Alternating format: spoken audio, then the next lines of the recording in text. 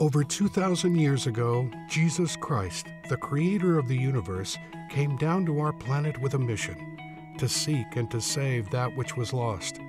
Jesus fulfilled his mission by paying the highest price, his own life on the cross. Jesus shared his plan to his followers to spread the good news of his kingdom and establish communities of believers in every tribe, tongue, and nation.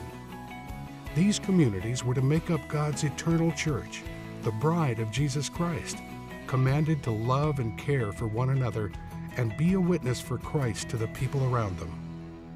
In Matthew 24 14, Jesus predicted that this gospel of the kingdom will be preached in the whole world as a testimony to all nations. Today, there are nearly 7 billion people on earth.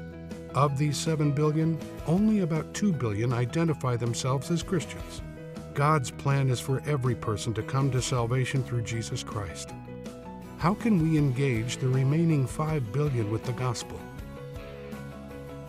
Working together with the body of Christ, the Global Church Movements, or GCM, of Campus Crusade for Christ aims to achieve the following goals by the end of 2020.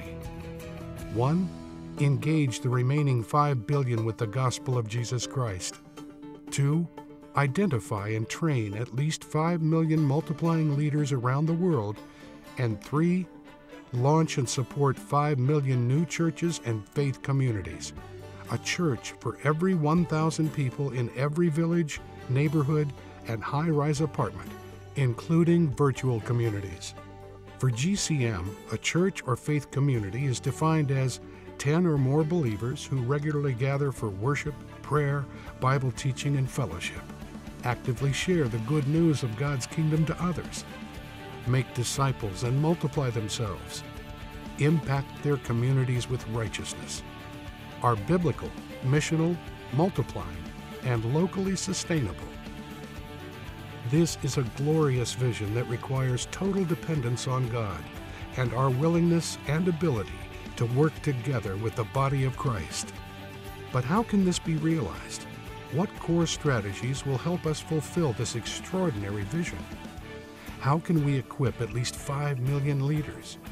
How can we help start at least 5 million multiplying churches and faith communities by the end of 2020?